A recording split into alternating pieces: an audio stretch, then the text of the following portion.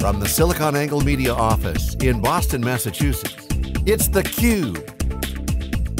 Now, here's your host, Dave Vellante.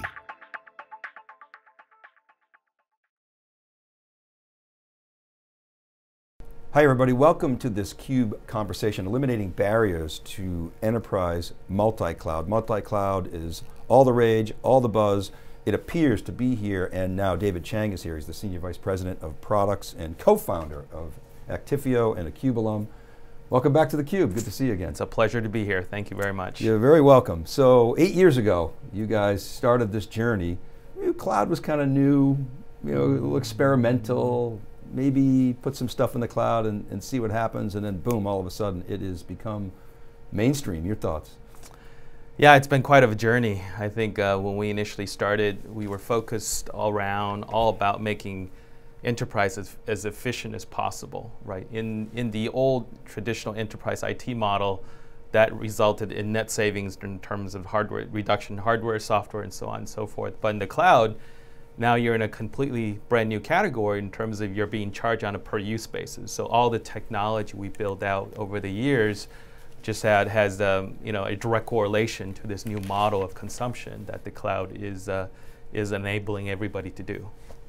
So if you think about um, when you started, mm -hmm. platforms were really all mostly on-prem. Um, right. The definition of those platforms has, has really changed. It's sort of shifted from whether it's a, a, a, server manufacturer or a storage type or maybe a networking type to the big cloud players, Amazon, Google, Microsoft Azure, Oracle's got a cloud, IBM's got a cloud, you see in the China clouds emerge. How were you able to, well first of all, is that a sort of an accurate view that you guys had this sort of platform agnostic approach to your business and that platform has shifted? No, that's right? absolutely true.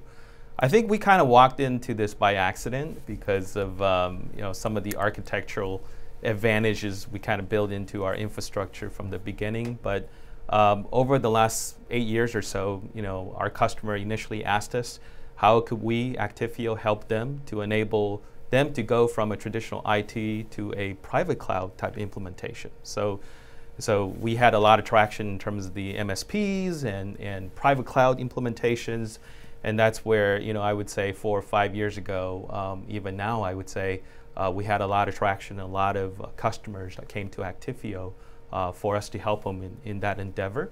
But within the last four or five years, we definitely see an acceleration of extending that uh, infrastructure as a service platform from on-premise traditional IT to private uh, cloud infrastructure now into the public cloud. So all the capability we kind of build really applied very nicely to this new sort of platform agnostic model regardless where you want to go. Can we dig into that capability a little bit? What, what is it about your architecture, kind of your secret sauce that makes you multilingual and maybe in this case allows you to go from a world that is you know, largely on-prem or managed you know, hosted services to one that's you know, massive public cloud scale? If you think about it, the only thing that's constant as you move your application from IT to private cloud to public cloud is the application, right? So from mm. the beginning, we had this very tight application focus. Everything we do is from an application perspective. That really enabled us to play nicely in terms of these platform shifts from these one location to another and fundamentally decouple the application and its data from the infrastructure. So now this normalization of this uh, infrastructure really enable our customer to make that switch very easily. So, talk more about that. Um, how do you do that? Is, is, this software code? Is it just is it architecture? Give us some understanding. I think it's the um, it's the approach that we take in terms of supporting of the, a, a, lot of these data management and copy data functions, and it's uh, it's really looking at the application data set as the entity that we want to focus on and focusing on enabling the application as the entity that we add value. So what I mean by that is if you look at a traditional Oracle database and if you want to move that from a traditional, let's say an AIX type environment into a Linux environment for your private infrastructure. So we really fundamentally decouple that application and enable you to very quickly migrate that information from that AI, AIX infrastructure into a Linux environment. Then once that's done, our capability in terms, it's all software, if you really, uh, really enable us to kind of have a very efficient incremental tap to that database and then move that information incrementally into the cloud. And once you're into the cloud, you can now make vertical, um, multiple virtual copies, if you will, all consuming sort of the same amount of resources to, so you have a drastic reduction in the capacity needed to do that. So it's your ability to essentially jailbreak the data from the siloed infrastructure. Is That's that right? That's right. And I think four or five years ago, we realized that the cloud would be, the public cloud would be a uh, infrastructure that we need to support uh, in depth. So the engineering group has been looking at, you know, for an application to consume cloud natively, you have to understand a lot of new technology and new terminologies and, and new capability. Things like object storage, for example, is not something that um, a traditional application can consume readily, if you will, without going back and rewriting of the, a lot of those applications. With Actifio, we enable our customers to not having to go back and retrofit and rewrite these applications, but be able to consume these new cloud technologies natively um, so they can reap the value um, immediately versus having to go back and retrofit their applications. One of, one of the practitioners that we had on, you know, of course, very recently, you know, Jake, Jake Burns was saying that even in AWS, the, the block storage really isn't kind of enterprise ready, friendly. Uh, I want to ask you a question about if you think about the on-prem, you know, block storage players that you guys eight years ago understood that you had to, you know, be compatible with. I'll use that term, whether it was EMC or NetApp or IBM or HP, or whatever it was. Were those block storage sort of interfaces, the entries and the exits, all you know very similar? And is it is it harder in the cloud, or is it actually easier in the cloud because it's all sort of the API-driven economy? I wonder if you could give us some insight there. I would say the uh, foundation layer is much easier on the cloud, mm. right? So as Jake was mentioning before, you don't have to order the hardware. You know, hardware gets here, so the the agility of this picture improves drastically when you move to the cloud. However, some of the the uh, the cons of that is a lot of the advanced features that you used to get on premise with these enterprise infrastructures are not uh, no longer available on the uh, public infrastructure.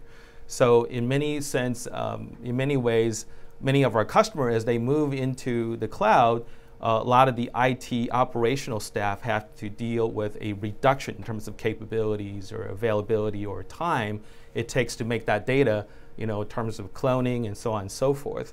So that's sort of, I think, the challenges many of our customers are facing, and that's where Actifio can, can help you with. Can you talk about this notion of rewriting apps? Because in IT, if you have to rewrite the app, you got to freeze the code. If you freeze the code, then you're enduring all this risk. You know, if you have to freeze the code for n number of months, that's n number of months. You can't keep up with your competition. So, am I correct that your customers are not having to rewrite their apps because of your ability to isolate sort of the data model? That's um, right. And maybe you could talk about that a little bit and what impact it's had in your customer base. Yeah, as you know, in the cloud, the economic is per use, and um, and in the cloud, the type of capacity you have to deal with tend to be in multiple categories. You have the EBS of the world, which is uh, uh, quite you know relatively expensive compared with the object storage. Mm. So if you take just lift and ship your enterprise application model into the cloud, where a lot of I would say most of your application data is stored in EBS, then you're not really fully utilizing the economics of the cloud. So how do you make effective use in terms of minimizing the elastic block service on Amazon versus the object storage capability that you have available? Uh, that is, I think, uh, a difficult topic for a lot of the traditional em- um, enterprise applications doing the lift and shift, where you have to you know, essentially go back and rewrite those applications to take advantage of the cloud native capability for you to really drive that availability and cost to the new level that you're expecting. So I've, been in the storage business a long time, and I'm, so I'm kind of embarrassed to ask this question, but I have an architect here, a, a, a, a technologist. I'll ask you: when you think about block storage in the cloud, and EBS in particular, you know that was not their I mean, Amazon's first announcement. Did they announce that because they realized that they need to accommodate you know block storage for to get more people from the enterprise, or is there something specific about you know, block storage that is, is, is, is here to stay forever. Another way of asking that is, can we run these applications on object storage? Is that the direction? Thoughts on that? Yeah, I think it's going to be a hybrid model, right? Mm -hmm. So what Actifio really enables our customer to do is not really running your production on object storage, but a lot of the secondary sort of data cloning, data analytics, and DR type of use case, you can shift uh, you know, I would say reduce the, the, your usage of EBS block storage to object storage. Mm -hmm. So we think that's the low-hanging fruit that enable our customer to move to the cloud faster, cheaper, and with better capabilities, right? I think longer term, as you, as our customers start to uh, develop applications that's native to the cloud, it's probably more efficient for you to consume some of these native uh, cloud native capability directly but we're talking about a lot of time and resources that not all organizations will be able to afford to a high percentage of their applications moving to the so, so new applications might be rewritten to take advantage of That's object right. storage. And what about things like performance or latency and, and, and, and, recovery, et cetera? Do you see the block storage world being able to, to get there to actually compete effectively with, or, or the, the object to compete effectively with block, or is that? We believe so, because if you look at object storage, it's now proven over the last, I would say, six, seven years, it's the most scalable um, storage that's available to the industry, period, right? That scalability also enable you to kind of reduce any hotspots you may have from a performance perspective. So what Actifio Engineering Group has done is really leverage that capability, the, the ability for you to fully utilize the full bandwidth of that entire object storage and having multi-parallel streams of access into that. So the way we look at object storage is just another access protocol, right. if you think about it. You have block storage, you have iSCSI, Fiber Channel, you have NFS access protocols. Object is simply another object uh, protocol that enable you to have persistent storage. Mm -hmm. And uh, what Actifio has done is really leverage the performance and scalability characteristic of these object storage to have uh, our customers in terms of realizing value from day one. Yes, it's true to your DNA. You don't really care what the, whatever the we customer really chooses. Yeah. You're going to support it. If the whole world right. goes object, yeah, right, great, no problem. If the world stays, you know, mix. Yeah, I think for the foreseeable future, it's going to be a mixed environment. Mm.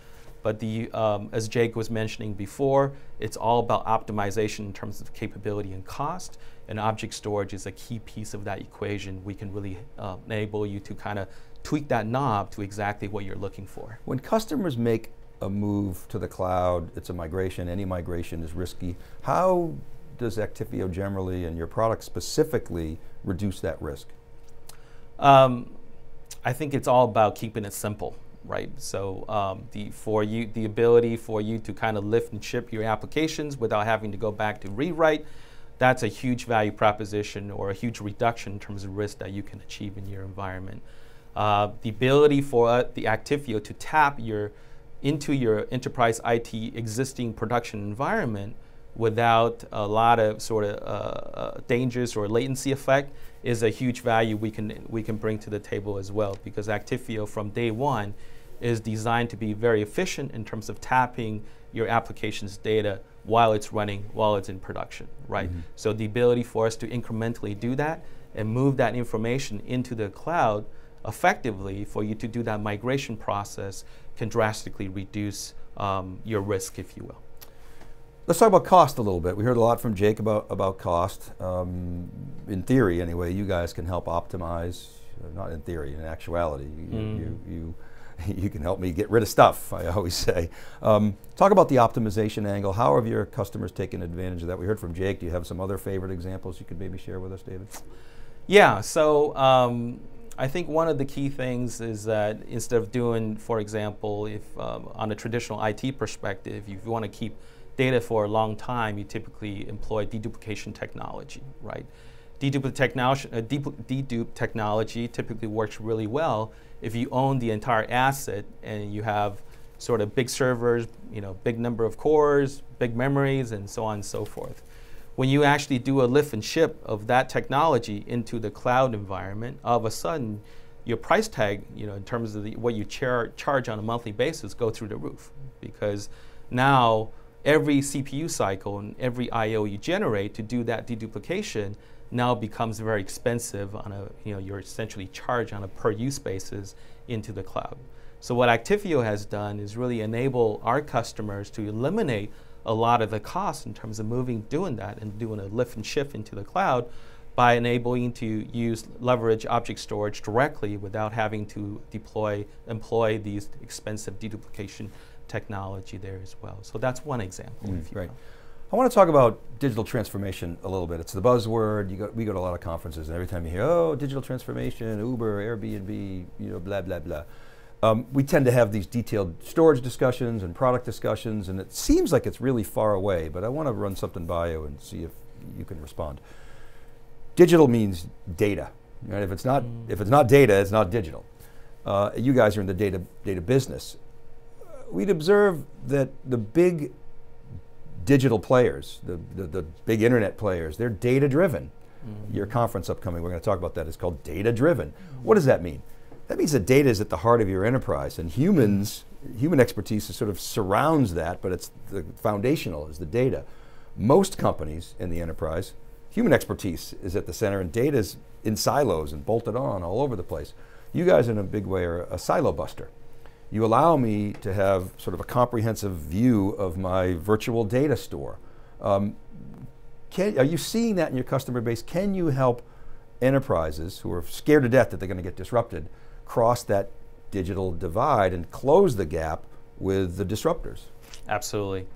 So Actifio does not do AI, for example, right, right. but what we really do is unlock the data you already have in your environment for so it's it's absolutely free to be uh, so you can run analytics you can run on analytics on demand whether it's on your primary IT infrastructure in a private data center or in a public cloud so by if you if you think about it some of the, the biggest challenge our customer have in terms of doing these sort of going digital is how do I fundamentally uncouple or decouple my data from the infrastructure that I'm running right? Once I have that, de uh, that uh, detachment of that data from my, my underlying infrastructure, now I'm free to move that information to anywhere I want in terms of make use of that information or to run analytics, to actually run sort of a lot of the advanced algorithm that you could, you could monetize that information for your business.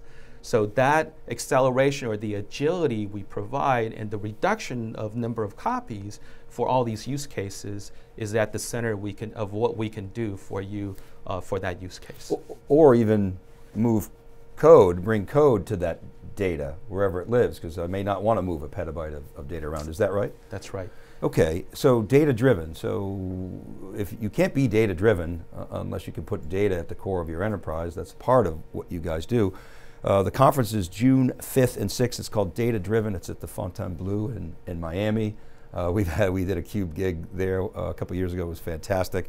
Tell us about uh, the event and, and what people can expect.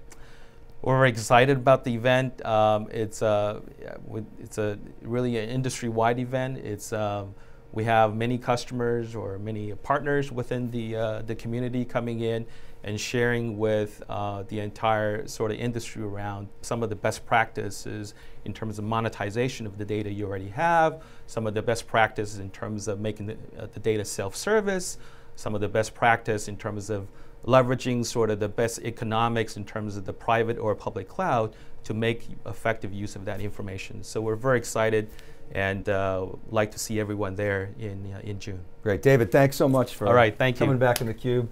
Really Thank a pleasure. Congratulations on, on, all the success and, and, good luck in June. Thank you very much. You're pleasure welcome. to be here. All right. Thanks for watching, everybody. This is Dave Vellante from our East Coast studios. We'll see you next time.